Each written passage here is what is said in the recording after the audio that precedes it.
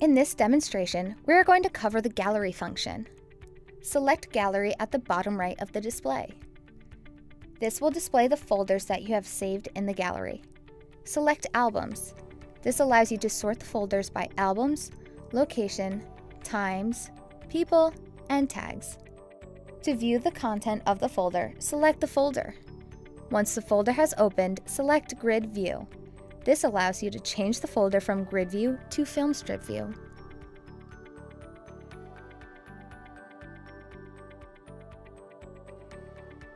If you would like to edit any of the files, select the Edit tool at the bottom left of the display. This will allow you to add filters, as well as crop and rotate your file. Select Save at the top left of the display once you have made your edits. There are two ways you can select a folder. The first option is to press and hold on a folder until it is outlined in blue. From there, you can select as many folders as you would like. This gives you the option to delete multiple folders at once. The second option is to select options from the top right of the board. From there, you can select as many folders as you would like, also giving you the option to delete as many folders at once as you would like.